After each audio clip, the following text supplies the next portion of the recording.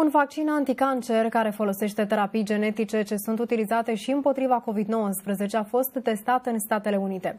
13 pacienți au primit câte 10 injecții timp de 6 luni în încercarea de a opri răspândirea bolii în organism.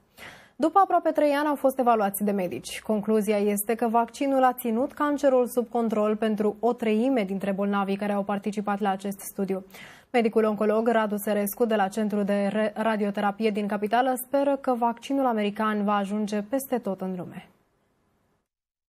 Poate fi ca la COVID prin stimulare de tip RNA mesager, uh, făcând o, o evaluare de tip NGS a ADN-ului tumoral, observi translaționala lui și cine are corelație în RNA mesager de a produce proteine și atunci poți face ca la COVID o sinteză în care se induce o, se induce o proteină și până acest lucru te aștepți la un răspuns imun.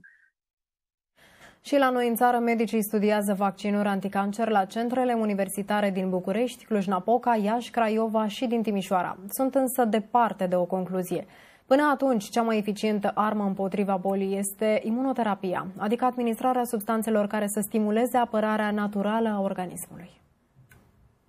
Deja avem imunoterapie la plămân, melanom, rinichi, cap și gât și ușor, ușor ea va ocupa piața și va fi în diverse combinații un tratament obligatoriu.